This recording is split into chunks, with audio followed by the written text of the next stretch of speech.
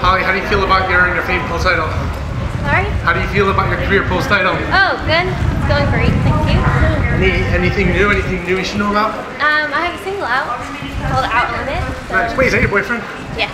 Oh, that's nice. Uh, What's his name so we can know for the record? huh? What's his name for the record? Sal. Sal. Yeah. Sal. Hi, Sal. How you doing? Bye, Sal.